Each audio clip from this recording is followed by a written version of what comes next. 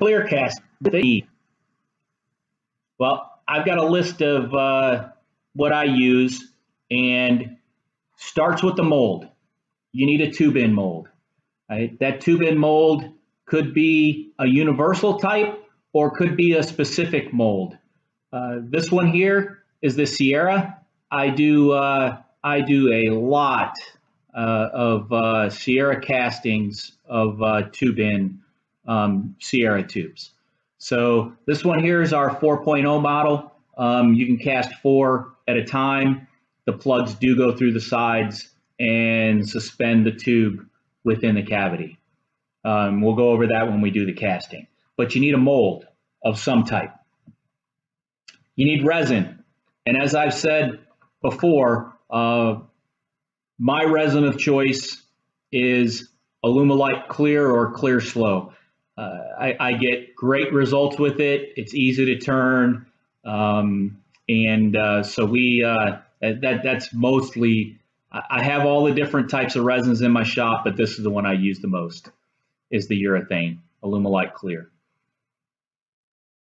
You need a label, whatever you're going to cast. For the demo today, I'm going to do uh, our P-Town Subbie logo. And uh, the um, this logo is printed on weatherproof labels from onlinelabels.com. So you go to onlinelabels.com, you look for the weatherproof matte finish, not the gloss. I've had a lot of people try to tell me, well, why not gloss? That doesn't make sense. It's got to be it's got to be gloss. The gloss finish is a smooth, slick finish. Your resin has a tough time adhering to it. So when you press in your pen kit components, a lot of times you'll get uh, separation between the resin and the uh, and, and the label because the label will slide away from the resin.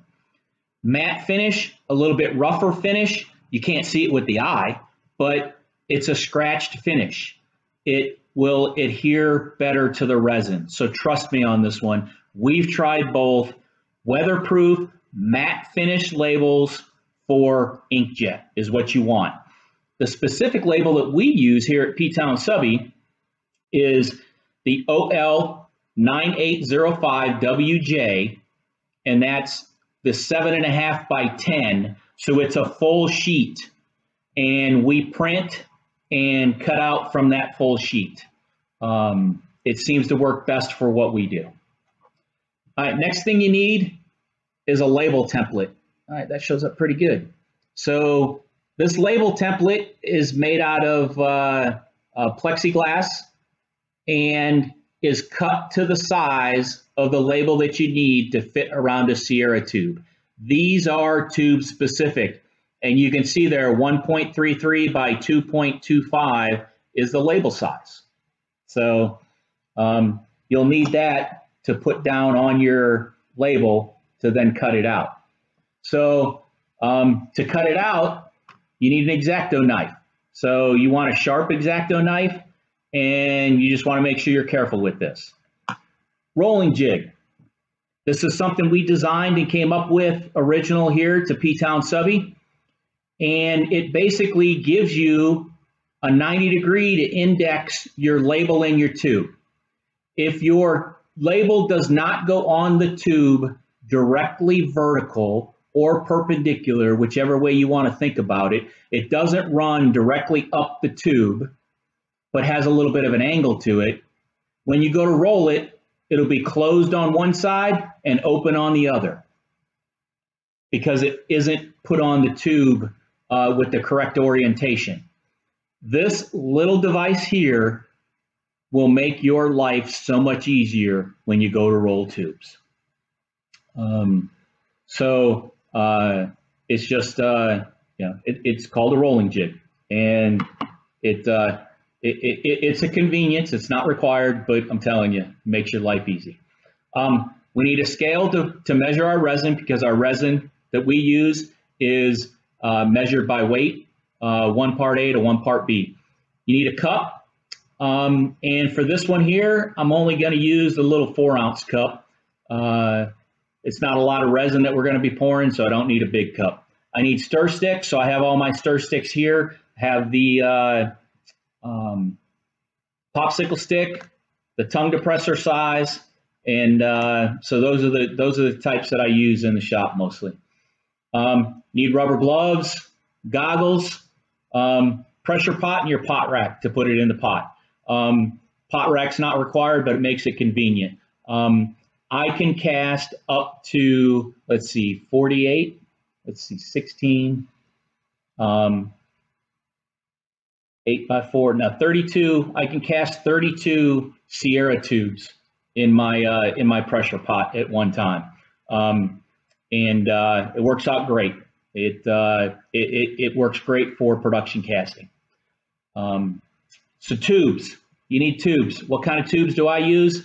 I use the smooth tubes. I don't like the tubes that are pre-roughed for this type of uh, um, this type of project.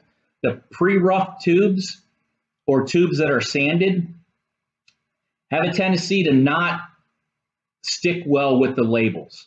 And if you think about it, it's less surface area that the label is in contact with.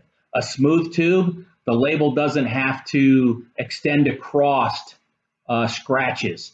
It is adhering to every piece of that tube. It just seems to adhere better. So I use the unsanded uh, tubes whenever I can.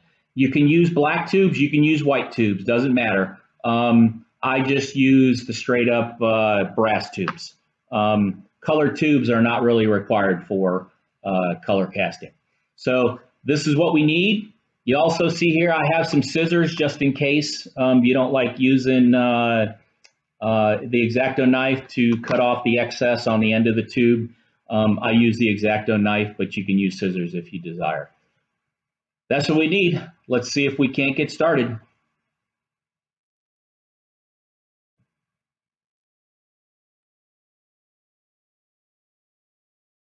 So anytime I start working with my label where I'm going to have my hands on it, uh, I, I, usually put rubber gloves on. Uh, reason for that is I haven't experienced it, but some people's oils in their hands very uh, are very reactive and will leave like fingerprints on your label or will cause separation due to lack of adhesion. So this is an insurance policy. So I usually put um, I usually put gloves on anytime I start working with labels. Makes it a little more cumbersome, but um, it, it, it, it makes it a little bit better for your label. So I've taken my label template and I've placed it on my picture because I can see through it where where I want to cut. Then I take my X-Acto knife and I just run it down the side of my temp my template on all four sides.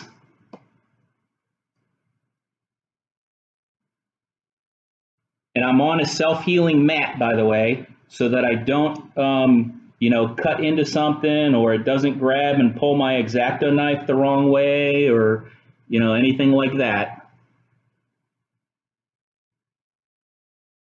All right, so when I'm done cutting all sides, pull that apart, and there is my my template uh, or my label that I cut out.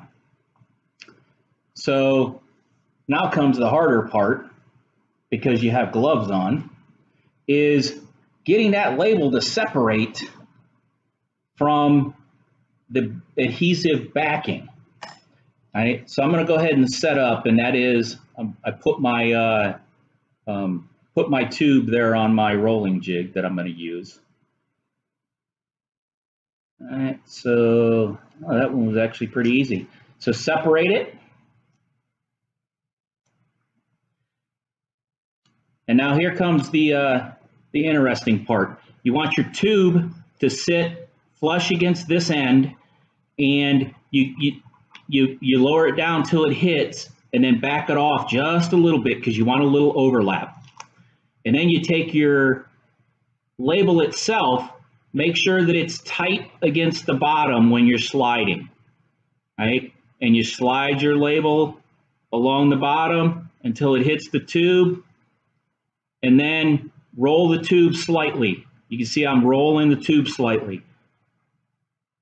So what I like to do is roll that really hard right there to make sure you get a good sit seating of that label. All right, now I just roll, and if all turned out well, I don't have any gaps. If you have gaps, you'll see tube. All right, and so now I have a little bit of overhang to cut off because it's uh, the, the label is a little bit longer than the tube. So I just take my X-Acto knife and I just run it along the edge right there. See that little twist coming off? That's it, right there. That's all there is to that. And then you just want to make sure you roll that edge really hard back and forth where um, where the seal is between the labels. Right, so that's one done. Um, I have some pre-cut, which is going to speed things up a little bit. Um, so take my label or take my tube, put it down here.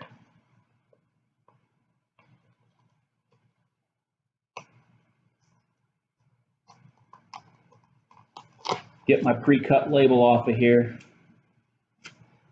My wife pre-cuts them for me because she does most of this uh, label casting for us.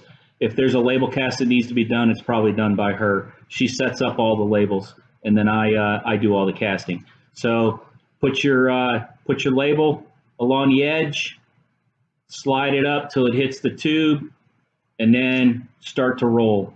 And then I pull the tube out a little bit. Oh, that one flipped away from me.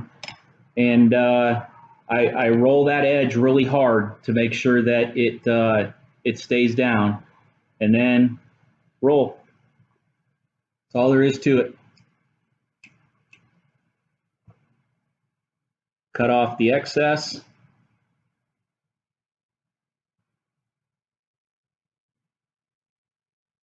Pretty quick and easy with the right materials. So that's it right there. Two of them, uh, two of them rolled in a pretty short period of time. Um, you can roll more if you want, uh, but uh, for the demo, I think that's a pretty good uh, showing of how the uh, label sizing template and the rolling jig, uh, how they work in tandem. So now we'll move on to how do we put this in the mold.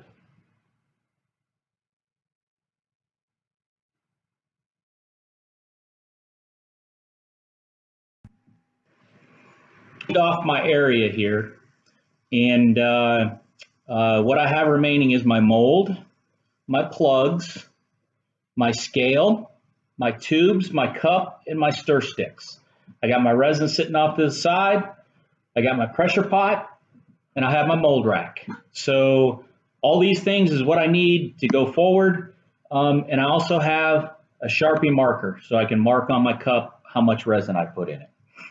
Um, so now it's time to set up uh, so I can put my tubes in my uh, in my mold. So I start by inserting one side of the plugs. And I'm going to cast these right next to each other. You can cast them, you know, every other, uh, the ends, whatever you're comfortable with doing, it doesn't really matter.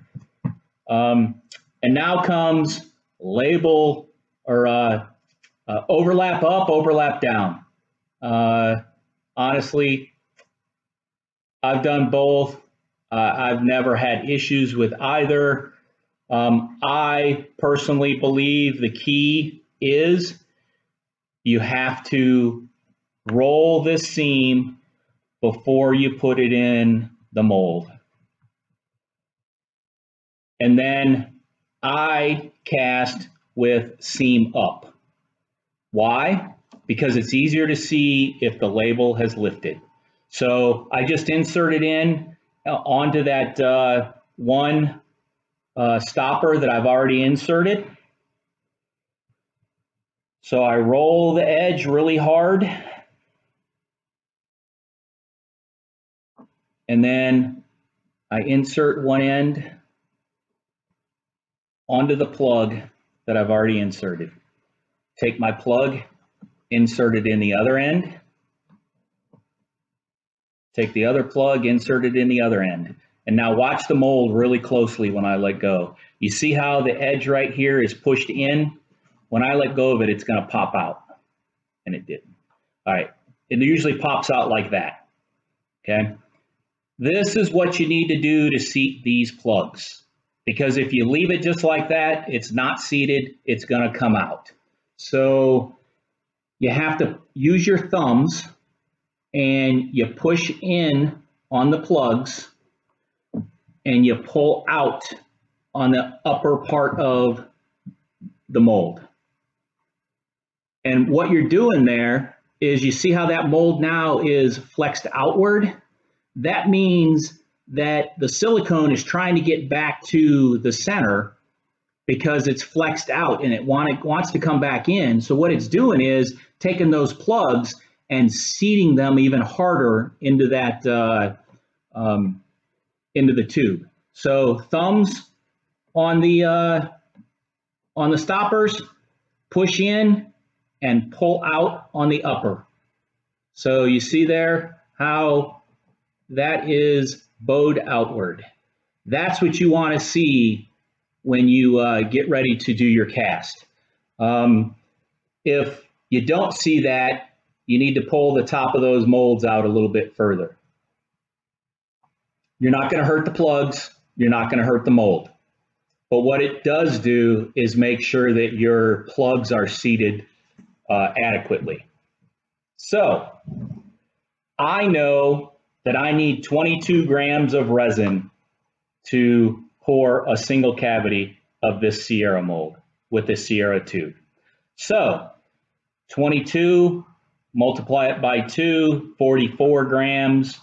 And I know I have a two part resin, one part A, one part B, which means 22 grams of part A and 22 grams of part B is what I need.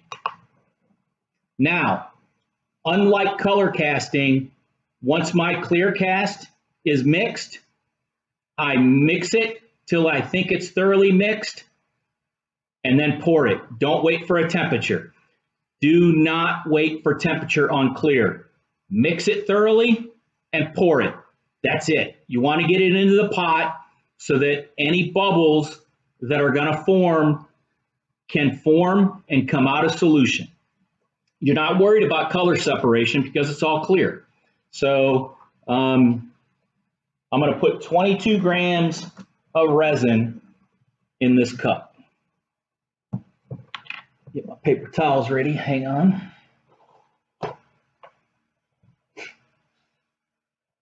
All right. 22.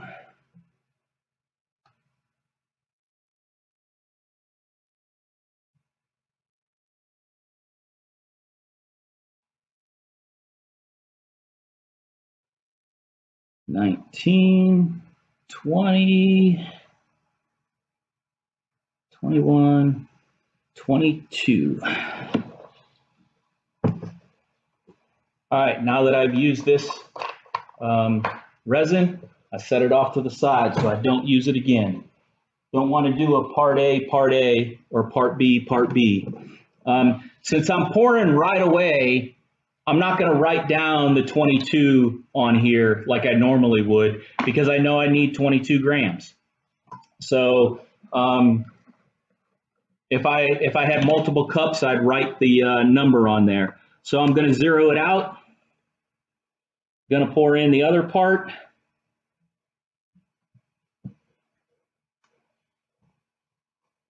To 22 cover up my jug. All right, since it's a small cup, I'm going to use my smaller um, popsicle stick instead of the big tongue depressor. Just makes it easier to get into the corners You just want to make sure you get a thorough mix. Scrape the sides as you're working along.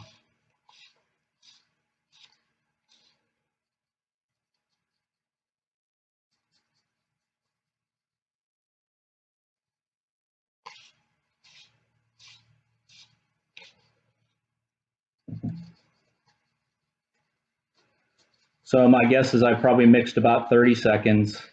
So don't be easy with mixing. You can see I'm mixing pretty hard. You're not worried about the amount of bubbles you're putting in solution because you're gonna you're you're gonna put it under pressure. Those bubbles are gonna get collapsed. So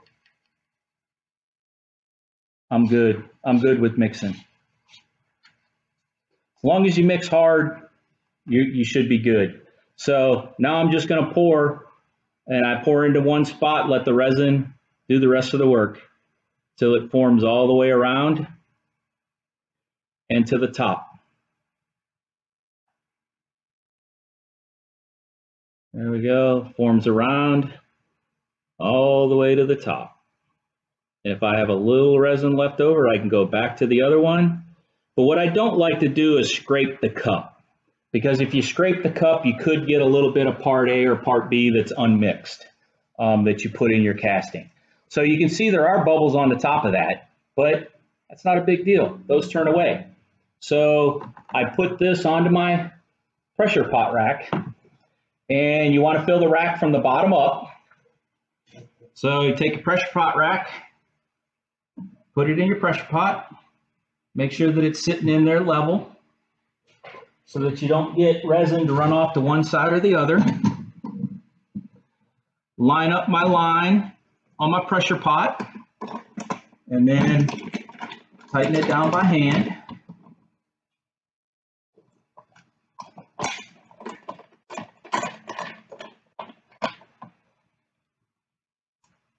This is again Harbor Freight pressure pot I've had for 13 years. This is the older of the two.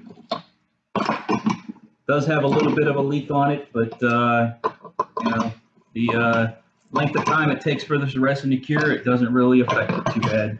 It goes down a couple of pounds, but all right.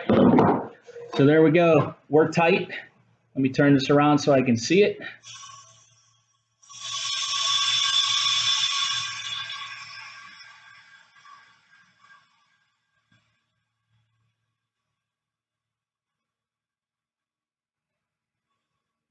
So we're at about 37 pounds, um, more than enough for a, uh, a tube in cast. So we'll wait an hour and a half to uh, uh, uh or so. And uh, I always leave them in there a little longer than what the uh, requirement is. The requirement's an hour. But me, um, I'm in no rush most of the time. And so we'll come back and I'll uh, pull them out of the pressure pot, show you how I demold them, and uh, um, see what we got.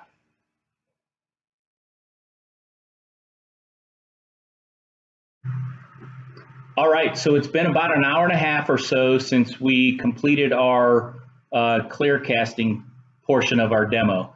Um, so I'm going to grab the pressure pot and I'm going to put it up on the counter here so that we can uh, demold. So uh, if you got your volume up, you might want to turn it down. It may be a little bit loud because I'm going to vent off the pressure pot. All right, here we go.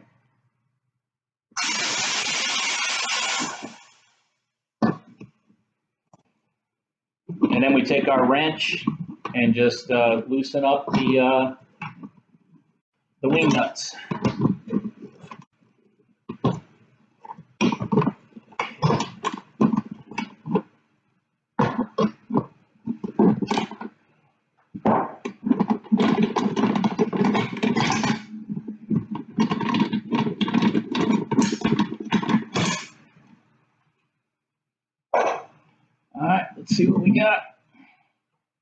So, our uh, casting is cured. You can see that. So uh, we'll take and um, show you how you demold these.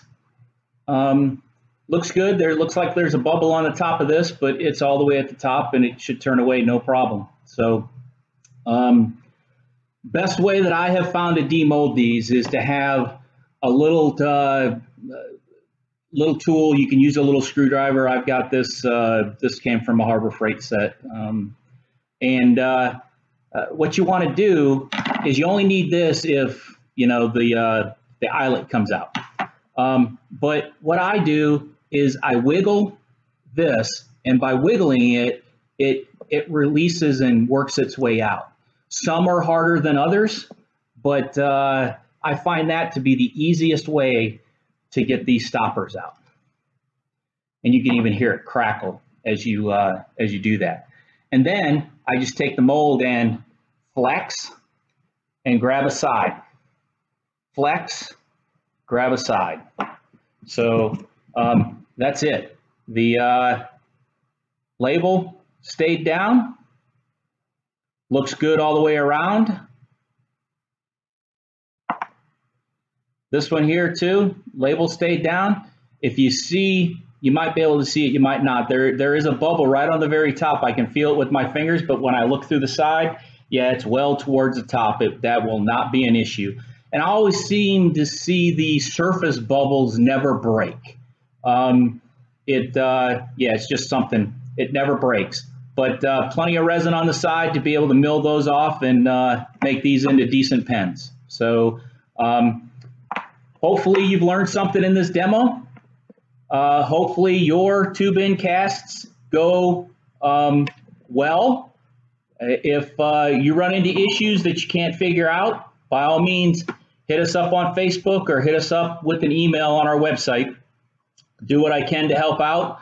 Um, I have a lot of experience helping people through tube in uh, and casting problems in general. Um, casting can be finicky. You uh, you need to make sure you uh, uh, document everything you do. Conditions should stay the same. Um, it's all about repeatability, repeatability, repeatability. If you can repeat from one cast to the next, and your process stays the same, um, you, you, should be able to have uh, no issues casting. The uh, the biggest issue people have is something changed in their process or the environmental conditions changed or you know it, it could be just about anything. The slightest little thing uh, could could set it off.